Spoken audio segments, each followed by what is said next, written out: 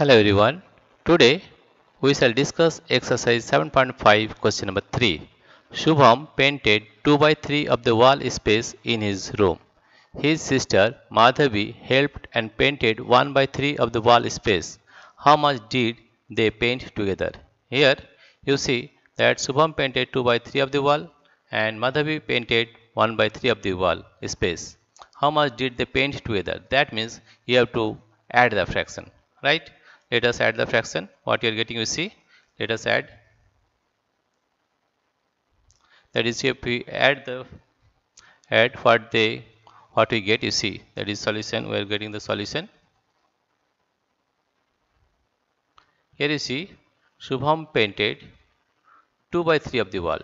2 by 3 of the wall. And Madhavi helped and painted 1 by 3 of the wall. 1 by 3 that means you have to add the fraction to get how much they paint together right? That is the LCM both the denominator same therefore take LCM as 3 and that is 2 plus 1 1 is equal to 3 is equal to 3 by 3 if we change into lowest term it is 1 by 1 is equal to 1 or 1 means whole. Right? How much they painted paint together? That therefore they painted the whole wall. Therefore they painted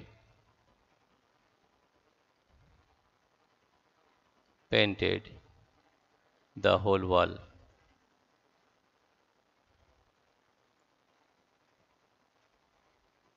whole wall.